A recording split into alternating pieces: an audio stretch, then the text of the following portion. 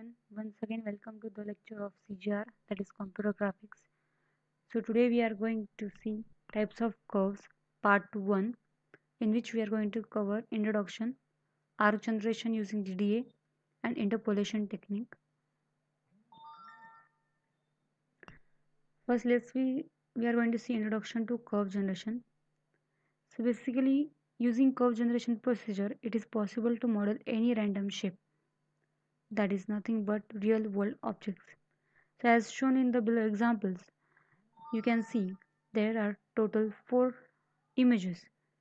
First two are of shoes and second two of our chairs. So as a human we can easily understand that those are shoes and chairs. But how can a system can system understand whether they are shoes or chairs? So for this purpose we have one particular domain that is image processing in which we use curve generation techniques to detect an object by forming the curves, lines, etc. So in this domain particularly the curve generation techniques are used. So first of all we are going to see the technique of using DDA for arc generation. We have already studied DDA algorithm for line generation. But how we can use DDA algorithm for drawing an arc. So basically to draw an arc using DDA, we must know differential equation of the curve. DDA is basically the incremental approach. That is, for a given x and y pixel or current position on the arc, if we want to find the next position or next pixel on the arc to form a line between these two pixels, we need to find the differentiation between differentiation in x and differentiation in y. That is nothing but the incremental parameters. And finally we are going to add these incremental parameters with the current parameters or current position to find the next new position or pixel on the arc. So how to generate or how to form this differentiation with x or y? But nothing but incremental parameters. How we are going to formulate these differential parameters or incremental parameters. For that, as shown in the example below, that this is the arc in which xc and yc is the center of the arc where the two point lines of the arc intersect. They form the angle theta and the r is nothing but the radius of the arc.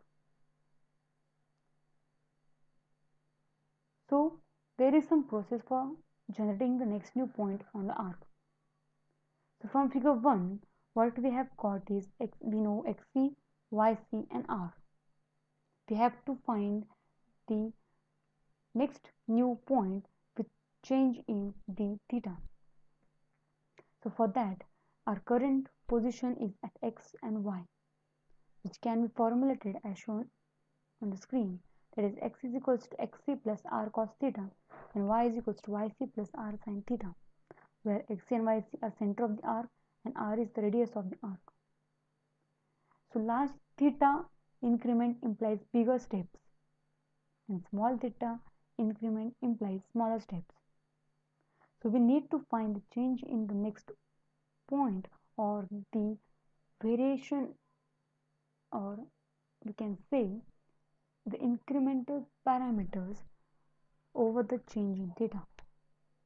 So first of all what we are going to do is we are going to take the derivatives of these two expressions and after taking the derivative with respect to what theta what we get are the next two expressions.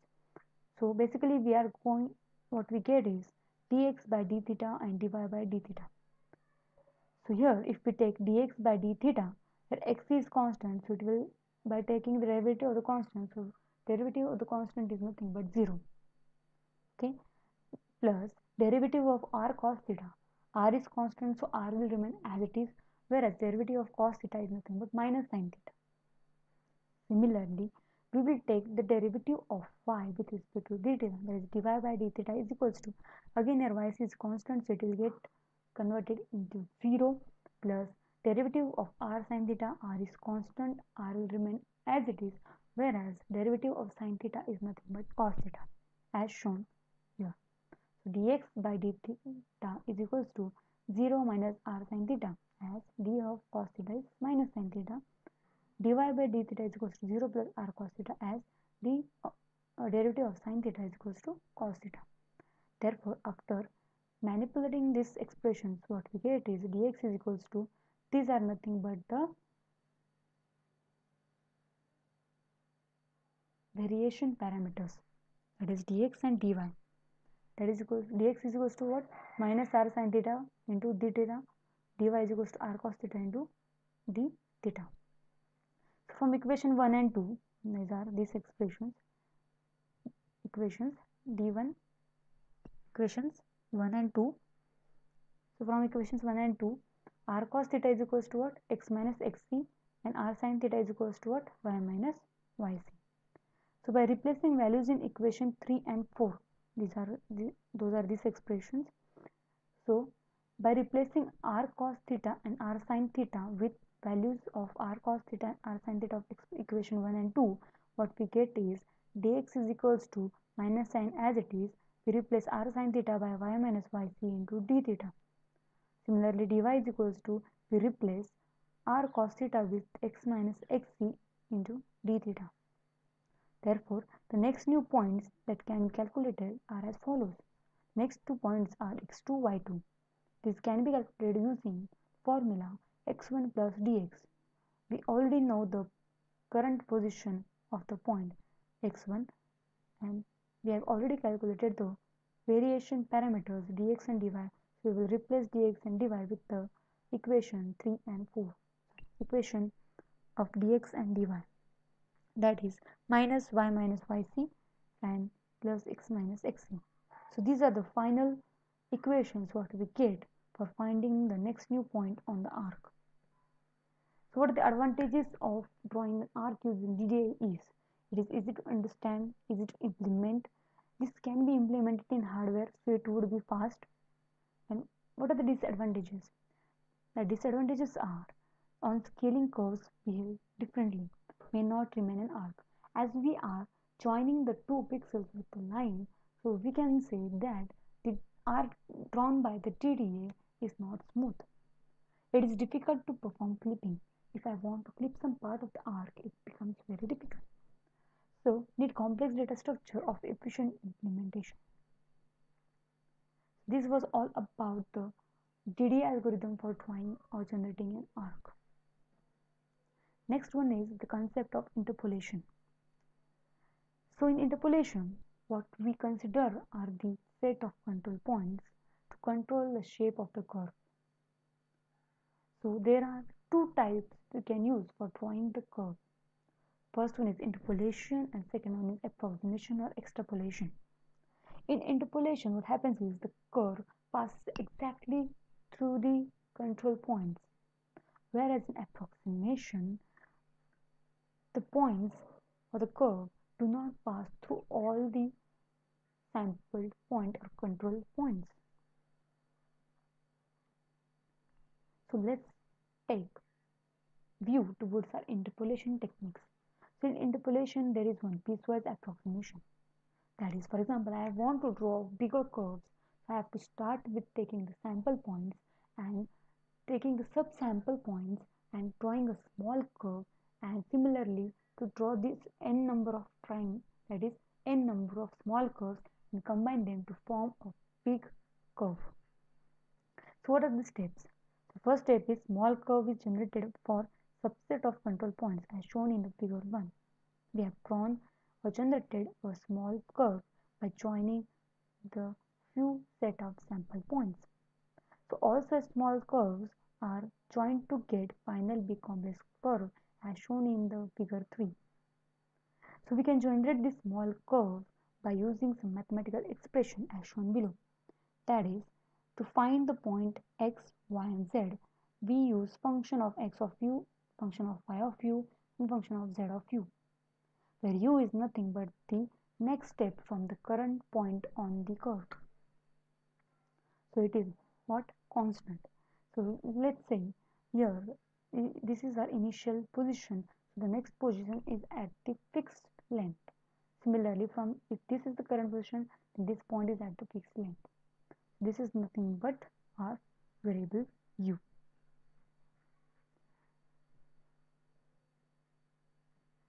next is interpolation. In interpolation we are having one method that is known as Lagrange interpolation technique. So in this technique so let us assume that the curve passes through n control points. Those points are xi yi zi where i can vary from 1 2 up to n. So for example for con one control point that is point number 1 so we will have xi y x1 y1 z1 for control point 2 we will have x2 y2 and z2 here I have assumed x, y and z because I am considering the curve in three dimensions so that's why I have taken x, y and z so there is the next step is there is need of step size u. We have already seen it before so coordinates of each point on the curve is given by the sum of each point as follows that is coordinate of each point can be find, found out by using the function f of x of u, f of y of u and f of z of u as we have seen here. x is equal to f of x of u, y is equal to f of y of u and z is equal to f of z of u. Similarly, we have to find this parameter.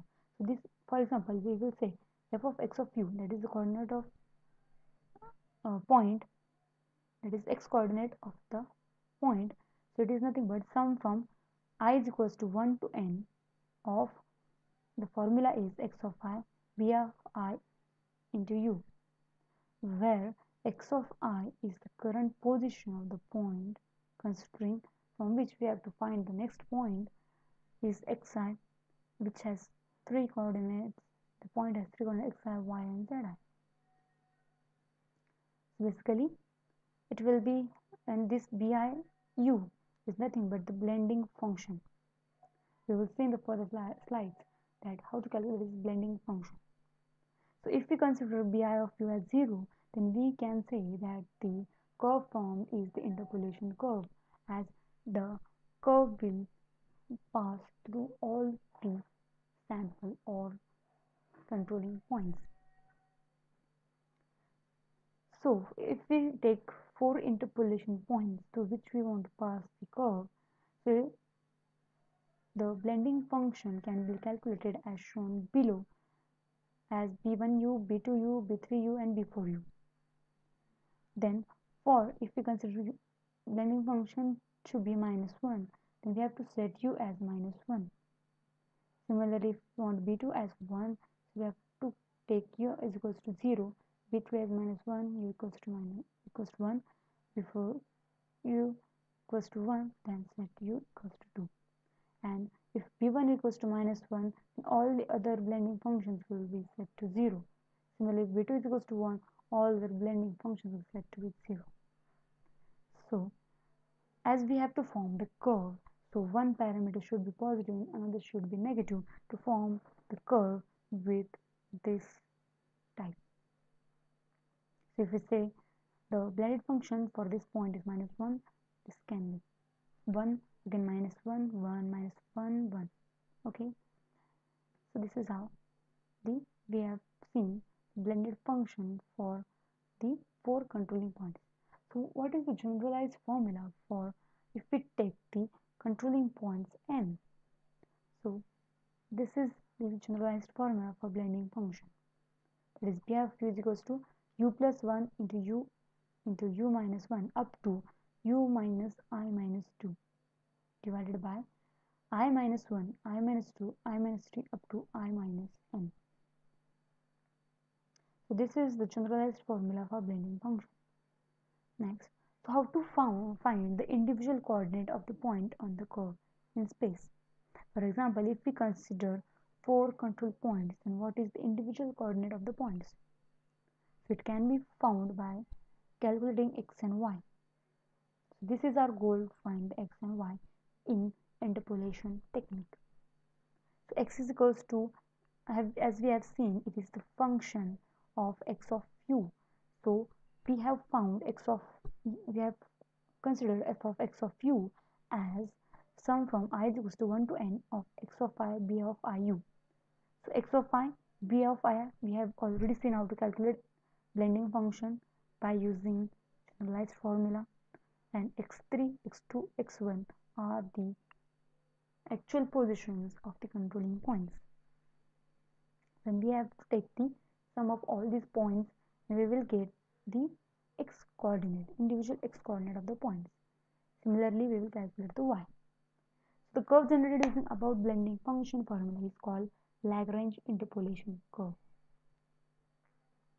What are the disadvantages of the interpolation curve technique is or Lagrange interpolation curve technique is the curve wiggles between the control points. Curve segments are not smoothly joined.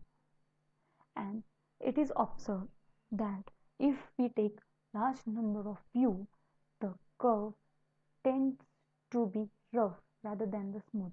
So it is recommended that you keep the value of u as small as possible so that the curve which gets generated looks smooth. This was for all for today. We have seen arc generation using DDA, then arc generation using interpolation techniques that is Lagrange technique and obviously where the interpolation is